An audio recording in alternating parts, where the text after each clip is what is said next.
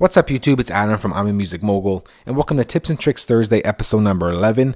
Today will be the final installment to top off the series of the three-part series of the sends and buses in Logic. I hope you learned something in it, um, hope you enjoyed the series for that matter, and uh, well, if you haven't seen the first one and the second one, I encourage you to click the red link at the top of the video. It will take you back to the first video and then you come back to the third one and watch this one so you can watch them in order. If you don't want to do that, you can watch them out of order. Yeah, I don't really care. It doesn't really matter to me. Just as long as you watch them and enjoy them, that's all I care about. And uh, yeah, so with that said, I will move on to the third part tutorial.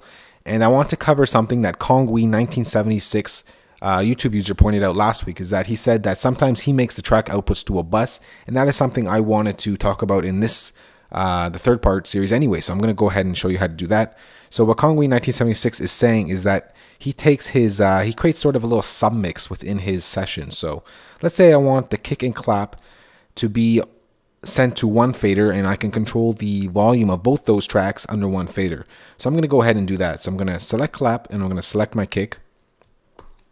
And instead going to the bus section and bringing up a bus, I'm going to go to my output section. So under the IO, EXS24 is my input, stereo output is my output. So I'm going to go to click the stereo output and go to bus. I'm going to use a bus I didn't use yet. And I'm going to go to bus 4. What that does is it creates another auxiliary track. So the outputs of these track is going to go through bus 4 and then going to go into the auxiliary track bus 4 and output the stereo. That's how I'm going to hear the sound. So I'm going to go ahead and hit play and you'll hear how that sounds. Obviously, you'll hear the kick and the clap. And a little bit of the other effects because I didn't mute my uh, sends.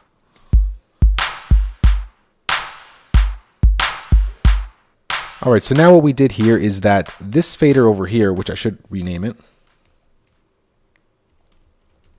we call it kick clap mix.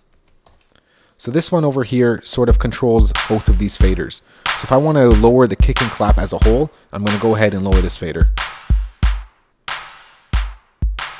And if I don't like how the kick is sounding, the kick is a little too high for me, I'm going to go ahead and lower this fader. I'm going to higher the clap. And if I just want to take it out all completely all together, the complete dry mix is out. All you hear is the reverb. If I want to bring in back the dry, I'm going to go ahead and hit play and bring back the mute.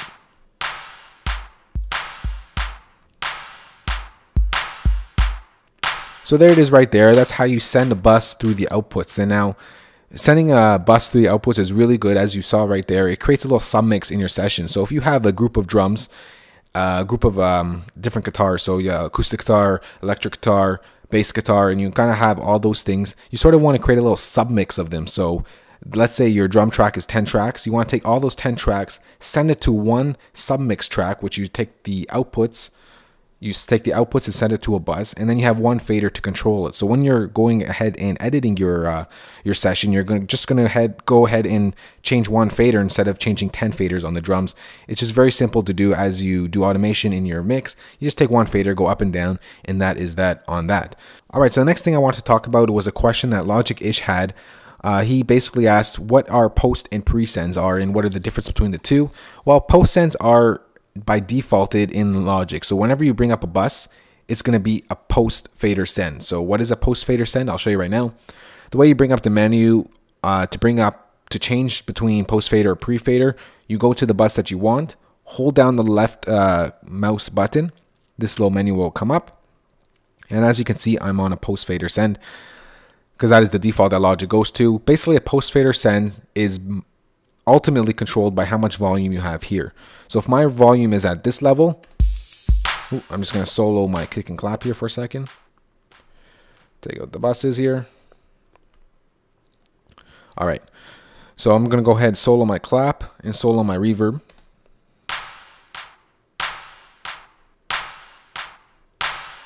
So as you can see, I have a kick and my clap going going on right there.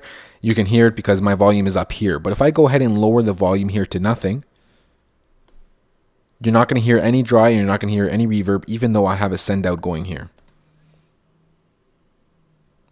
And then I'll bring it back up and you'll see the reverb coming back in as well as the dry mix.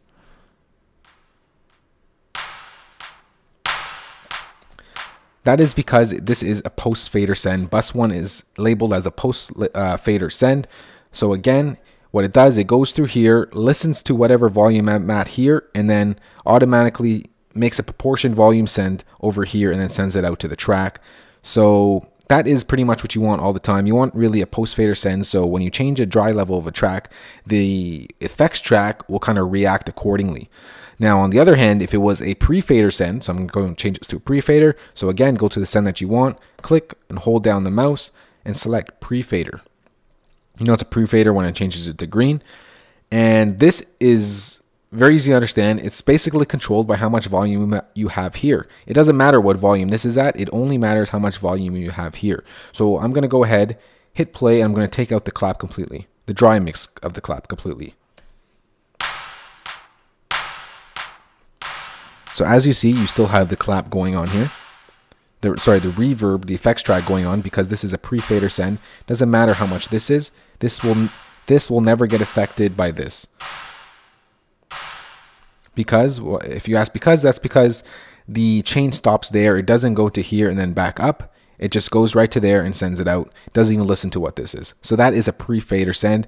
Now, for the most part, you're going to want to use a post-fader send, as I was saying. But for pre pre-fader send, it is good sometimes. And in a situation, let's say you're mixing some dialogue in a movie or TV show, and the actor is walking down a hallway. This will be a good time to use a pre-fader send and automate your dry mix level. So I'm just going to go ahead and show you that quickly. All right, so let's say you the clap is my uh, actor's voice and he's walking down the hallway. This is how it'll sound under a pre-fader sound.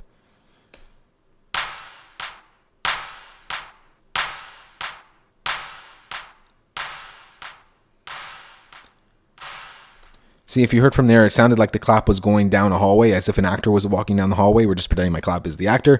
And that is kind of the times you use a pre-fader send. Anytime you want to counteract the effect and the dry mix together, you want to use a pre-fader sound. But most of the time, Logic defaults to a post-fader sound and uh, post-fader send, and that is kind of the send that you want to talk about. So that is the difference between pre and post-fader send. If you have any more questions, again, you can ask in the comment section.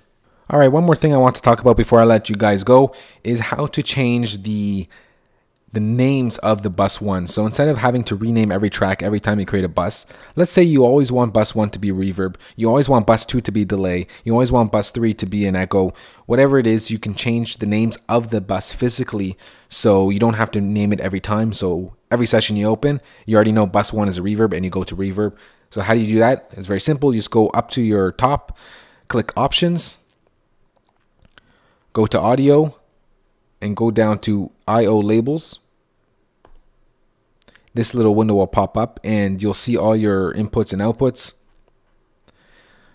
Under bus one, you have it selected. So what I do, as you can see here, I already named one of uh, my bus one because usually my bus one is usually reverb, but uh, for this tutorial, I switch it back to bus one. So here it is. So here's bus one, and I'm going to name it reverb because that's what I typed in over here. All you have to do to change the name over here, just double click and it will come up and you can edit it just like you would any track in Logic. And let's say my bus 2, I would want it to be called, what do I want it to be called? A delay. And my bus 3, I want to be called an echo. So you can just go ahead and change the names of the bus just by clicking. And you can call it whatever you want. So last one, I want it to be called Adam. Whatever, right? So instead of now the bus is being called bus 1, bus 2, bus 3, bus 4, it's going to be called reverb, delay, echo, Adam. So I'm going to go ahead and show you here. So automatically Logic has changed it to here. So reverb, reverb, delay, echo. So the input says reverb. So you know right away that as my reverb track. So if I want to send another track to, let's say, the reverb track, that's going to go to bus and click reverb. Again, go to next one, bus, delay.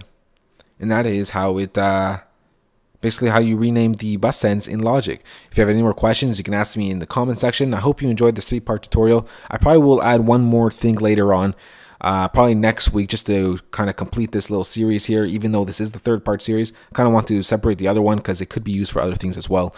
That's it for me. I'm Adam from I'm Music Mogul. Hope you enjoyed this series. I will talk to you soon, guys. Later. Oh, remember to subscribe, comment, and uh, yeah, rate my videos. Later, guys.